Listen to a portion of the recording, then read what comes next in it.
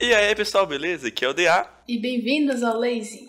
Hoje a gente tá aqui jogando a Edge Defender e é um jogo bem legal que ele usa o cooperativo, então tá eu e a Lily jogando aqui. Co-op meets plataforma. Yes. Então, a Edge Defender, até onde a gente sabe, é uma espécie de jogo onde que é uma espécie de Adventure Tower Defense co-op, com alguns elementos de puzzle, mas puzzle bem simplesinhos. E super divertido, divertidos de resolver. Então, cada um tá controlando um personagem, no caso a Lily tá controlando o personagem azul. Se chama Clue. E eu tô controlando o laranja. E calma aí que eu acho que eu não tô jogando ainda. Câmera, Configurado. controle, pronto. Pronto, e agora eu tô jogando. Sim. Eu não tava jogando. Ok, e o jogo é interessante que dá pra jogar tanto single player quanto multiplayer, né? Co-op.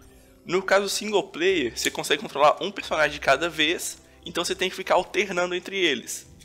E no co-op, a gente consegue jogar os dois ao mesmo tempo.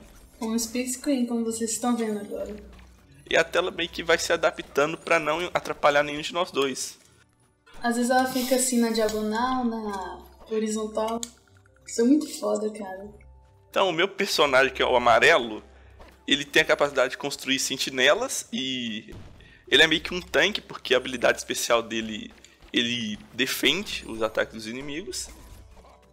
E a minha personagem é uma long range. Ela constrói bombas, atira armas de longe, cria armadilhas. E vocês estão vendo que esses personagens aqui têm cores diferentes. Esse bichinho tem cor vermelha, o dele tem cor amarela. E a cor dos bichinhos significa qual bichinho a gente consegue matar com mais facilidade. Eu dou três vezes mais dano se eu bater um inimigo da cor amarela. A Lily dá três vezes mais dano se ela bater no inimigo da cor azul. E eu, no caso, eu sou fraco contra qualquer outra cor. E a Lily também, ou seja, se ela encontrar um bicho amarelo ou, ou vermelho, ela vai dar menos dano do que eu. Do mesmo jeito que se eu encontrar um bicho azul, eu vou dar menos dano.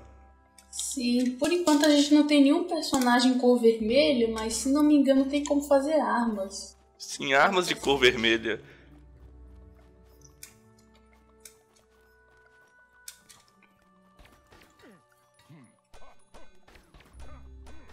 Abre pra mim. There you go. Thanks. Ai, eu ia colocar bomba. Vamos pular a historinha. O jogo tem meio que um sistema de. de. diálogos.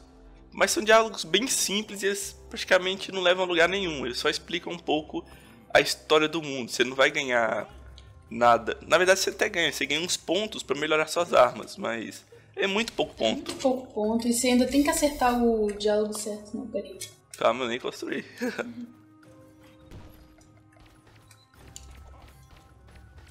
e o jogo, cara, ele eu achava esse jogo um pouco chato.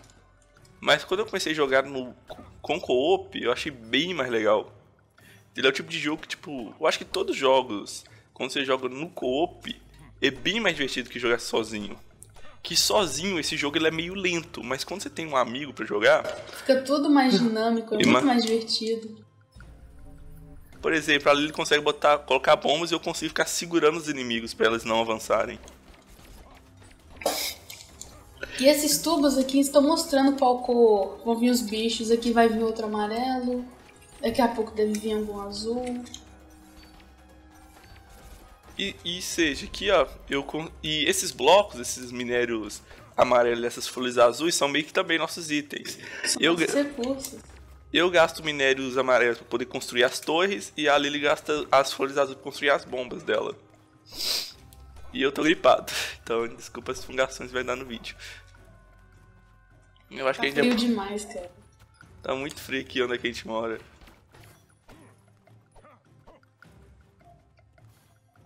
Ok, estão vindo. Esse aqui é bem facilzinho, cara. É bem tranquilo. Mas é bem divertido também. Se a gente estivesse jogando no single player, só um poderia controlar o personagem. Ficaria bem mais difícil e chato. Sim, talvez no. A gente tá jogando no hard justamente por isso. Porque quando a gente jogou no normal tava muito fácil. Por causa que a gente conseguia matar os inimigos mu- muito rapidamente. Aqui, ó, como vocês podem ver, a cor mudou. agora é vermelha. Quer dizer então que nem eu nem a Lily consegue dar um dano de verdade no monstro. A gente debate nele, mas custa muito para matá-lo. Por isso que eu vou construir três sentinelas aqui, porque eu vou dar um só de dano em cada. Então agora eu tô com o mesmo dano que eu dou num dano num amarelo. Pra vocês verem como é que as cores são importantes e dão uma diferença. Constrói mais um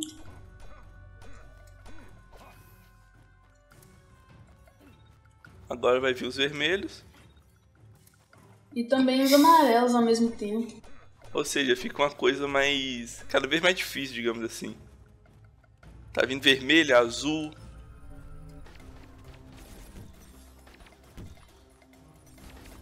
O interessante é que o jogo, em relação à vida, essas coisas, o jogo é bem generoso. Você ganha vida o tempo todo.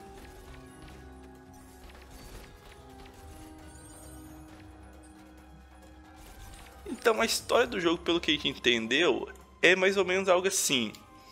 Existia muito tempo atrás uma civilização extremamente avançada e a civilização simplesmente desapareceu. Com o desaparecimento da civilização, a humanidade surgiu.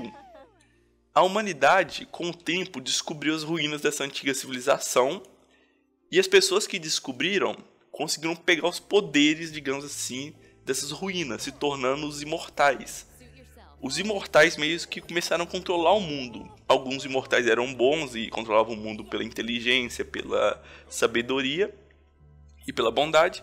E outros imortais eram tipo cuzões, tipo eles controlavam o mundo pela pela força, pela guerra e pela destruição. E parece que passou um tempo, um dos sacerdotes dos imortais, digamos assim, é, ele se rebelou porque ele não acreditava que os imortais deveriam cuidar do mundo, ele acreditava que os humanos deveriam cuidar do mundo, porque o mundo era dos humanos. E ele descobriu uma forma de matar os imortais. E meio que deu uma guerra, uma treta bem grande, e isso nos leva, nos leva para agora. Nós somos meio que escavadores, né? E nós procuramos essas relíquias para poder vender, para poder comer algum prato de comida. Então essa é meio que o prólogo da história. Vai para a próxima fase, Lily. Bora. Aqui agora eu peguei uma arma vermelha, agora é mais fácil matar isso.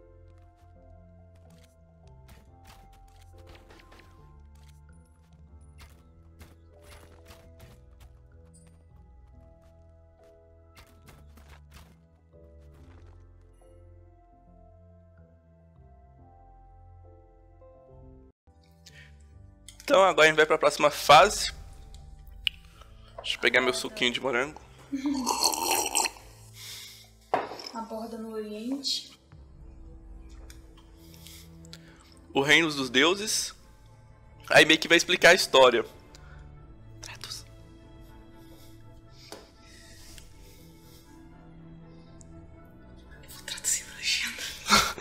ok. Eu não consigo fazer tradução dinâmica, então provavelmente vou traduzir na legenda. É mais fácil. Sim, mas dá pra falar o que aconteceu aí, ó. Tá dizendo que os imortais começaram a governar a humanidade. Criando várias nações e tal. Alguns guiaram a humanidade com um toque gentil, com bondade. E outros meio que guiaram a humanidade através da força da destruição, como eu tinha dito. Ou seja, cada fase do jogo meio que vai contando um pedacinho do que rolou nesse mundo.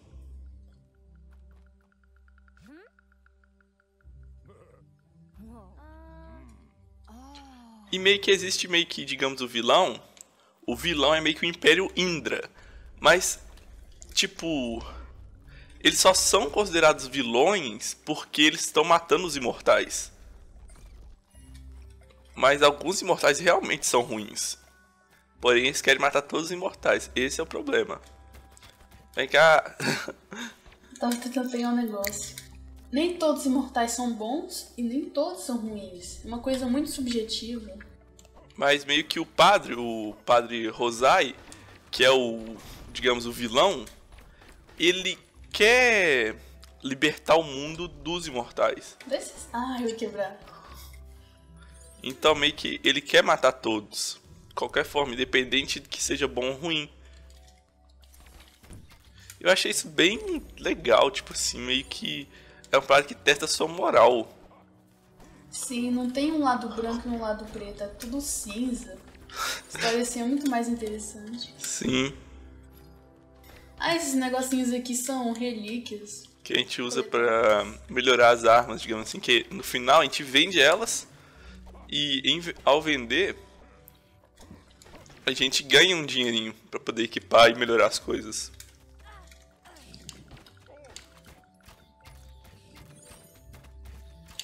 O legal é que cada um tem uma uma habilidade passiva, tipo, eu dou um dash pra frente, ele defende.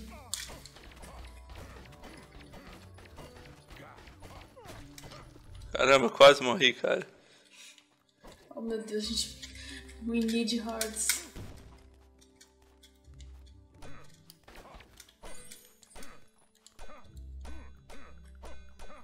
Ah, esse negócio aqui são as armadilhas que eu tinha comprado mais cedo lá no shop.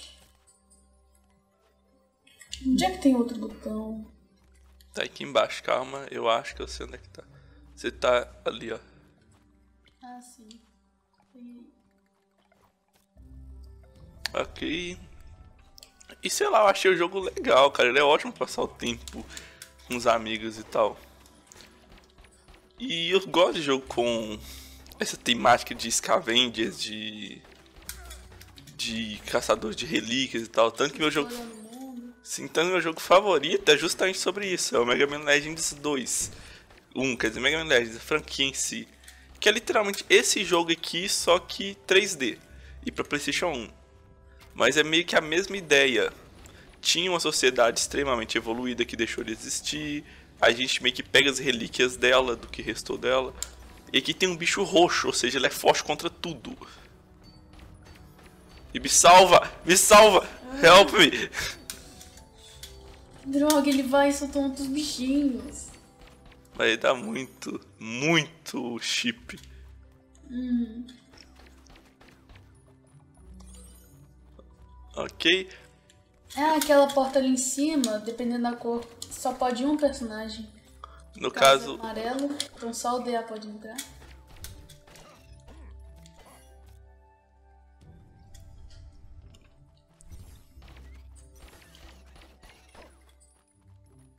beleza, a gente já tá quase no finalzinho da fase, creio eu.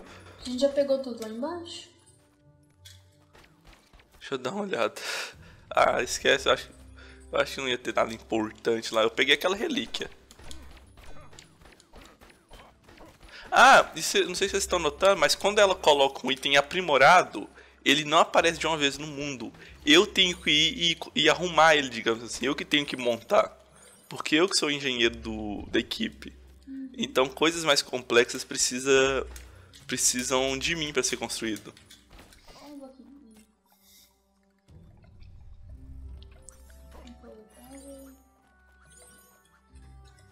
Ah, e aquele checkpoint que ele tá agora, pra quando tiver só uma pessoa e teleporta o personagem. Sim, digamos que você deixou seu personagem amarelo lá atrás. Você aperta ali e ele vai ser teleportado para perto de você de novo. Então isso é para meio que você não perder tempo. Ah, um Kobo. Ah, tão fofo. Isso é um grande achado. Os Kobos são bem raros e. What? Spark Nugget? É. Frango chocante parece. Parece estar em forma fantástica. Pela. Pera, ele realmente foi frango chocante? Choque Nuggets, tipo Spark pelas barbas Nuggets. do profeta.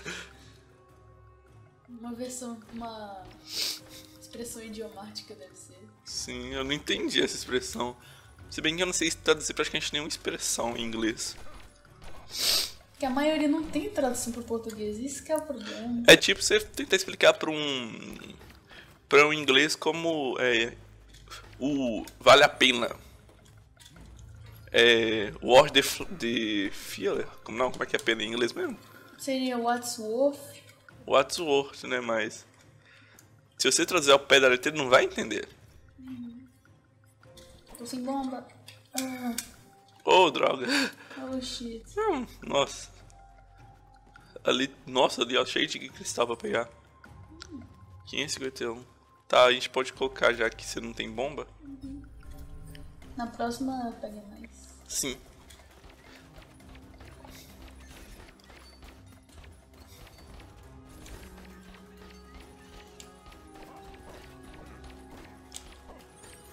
Ah, mata. Mata, mata, mata, mata. Pronto, pronto, já acabou. É bem. Mesmo no Rush tá bem fácil. Talvez no Insane fica engraçado. Será? Ou é porque a gente tá na fase 2, né? Uhum. Coloca a bomba aqui. Eu tô indo, eu tô pegando mais. Isso. Deixa eu fazer uma trap aqui.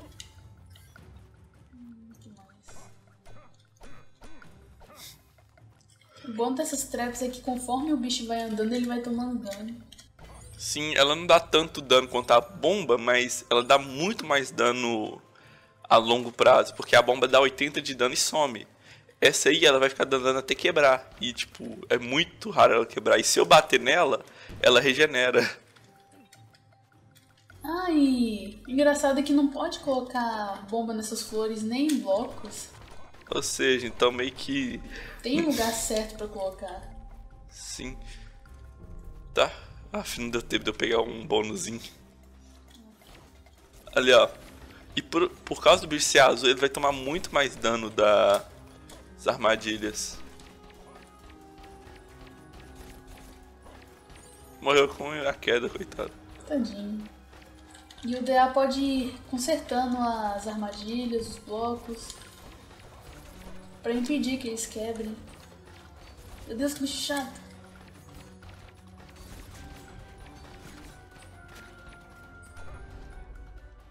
Beleza, vai vir mais ali de cima.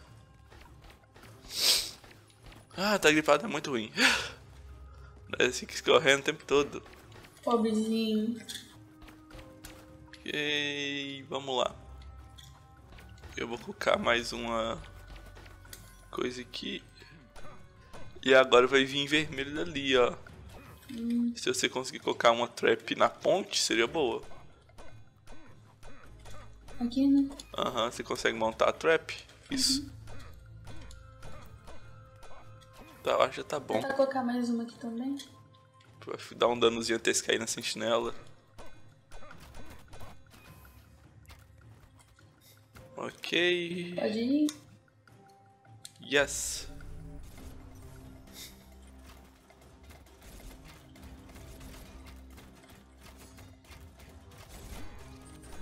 Tá vindo bicho meu aqui em cima.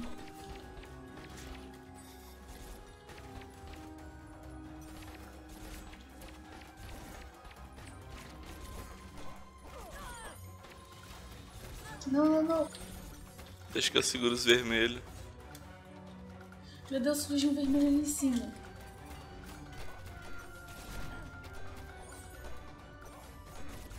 Morre! Meu Deus, ele quebrou uma sentinela minha. Oh, não. Ah, Agora vai vir do outro lado. Ok, aqui vai dar uma acalmada então. Aí, como vocês podem ver, minha sentinela quebrou. Então eu tenho que ficar batendo até ela regenerar de novo. Vou colocar uma bomba ali que sempre cai bicho lá.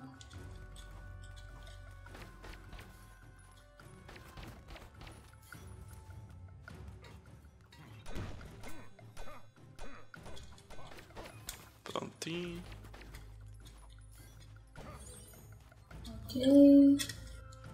Aqui é seu.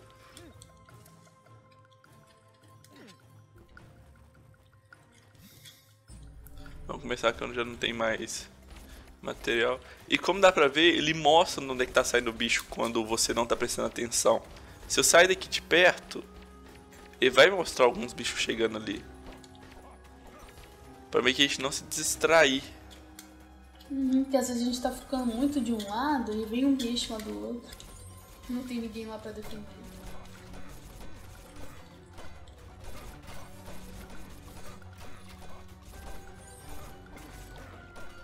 Meu Deus.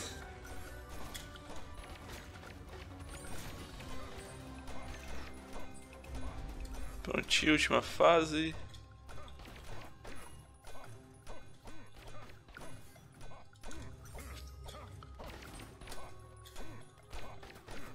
Deixa eu arrumar as armadilhas da Lily aqui. E minhas máquinas também. Vou colocar uma bombuquinha.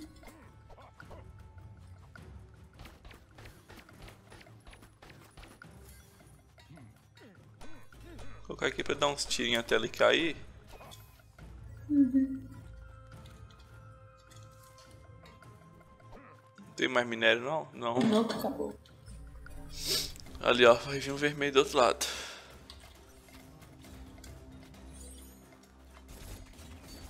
É vermelho desse lado. Ah.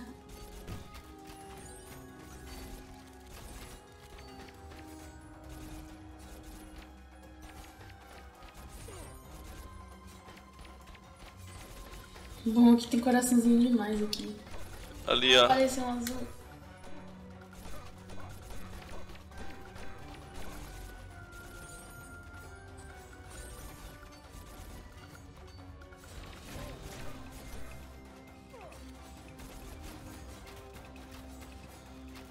Jesus. É muito.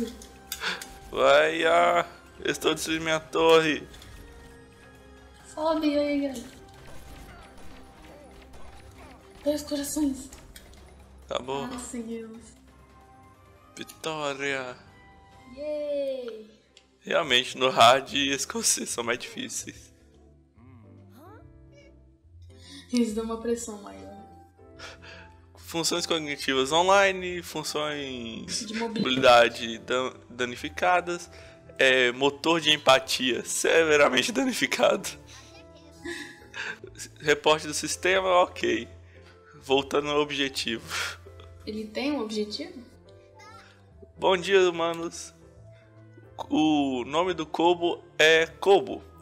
Humano novo, é, jovem humano, por favor, se identifique. Oh, ele pode falar. Hum, pode escolher um. Hi, Kobo, I am Clue. Eu, vi- eu noto. Muito bem, é. Prazer em conhecer você, humano, jovem humana. Não, Não, esse não é o meu nome. jovem humana adicionada ao, ca- ao registro. Ou seja, isso vai me chamar de robô jovem. Quer dizer, humano jovem. É. Velho humano. É. Agora é sua vez de começar a falar com o Kobo. Por favor, identifique-se. Hum, parece que precisa de reparos na. no sua audição. Oi, Kobo. Meu nome is- é Bart. B-A-R-T. O sorrisinho dele. Ah, Infelizmente o Kobo só consegue escutar é, velho humano. Isso tá bom. Velho humano adicionado aos registros. Agora Kobo gostaria de fazer uma proposta para a jovem humana e para o velho humano. Os- o- atualmente as funções de combate do Kobo está- estão desativadas. Então, o Kobo sugere que nós estabelecemos uma, um grupo para procurar o objetivo do Kobo. Ele quer que a gente ajude ele. Que fofo! Ah, se ele tem. Se ele realmente tem um objetivo, ele pode nos levar para algum lugar que realmente vale a pena. É. Kobo, onde é o seu objetivo? Ah, certo, o Kobo irá checar agora. O objetivo está aproximadamente a 158.584 quilômetros a sudeste. Putz, Tá, isso é mais ou menos a mesma distância do Brasil até os Estados Unidos, creio eu. Ou mais. ou mais, pá. 158 km quilômetros tá são desfar. Isso é bem longe. Eu estou com fome e cansada. Podemos apenas desmontar as partes e vendê-las? Coitado. Vamos dar ele uma chance. Vamos ver o que que é, Spark Nuggets. Eu não sei o que que esse negócio significa. Nugget deve ser uma. Realmente expressão idiomática, uma gíria. Aham. Aí que a gente conseguiu completar todos os objetivos. Quer achar todas as relíquias e tal. Estamos ricos, não usem desculpa. Ela só pensa em comida. Igualzinha a Lily na vida real. Hum, até parece. Verdade. Hum. Não que eu tenha almoçado agora, eu esteja com fome. Just kidding. Humana, é, humana bonita adicionado ao registro do grupo. Começando a roda para o objetivo. Humana bonita. Leve como por objetivo. É, em meia milha, vire à esquerda. Em, siga reta até a praça. Hã? Pra Rua Verde. Green Street. É melhor isso valer a pena. Payoff é valer a pena, não é? Compensar. Compensar.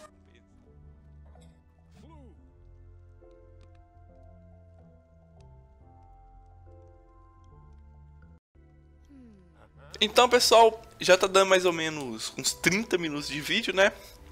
É, espero que vocês tenham gostado. Se vocês gostaram das, desse episódio e tal, e querem ver mais em jogando a defesa até zerado, comentem. Não esqueçam de dar o seu joinha.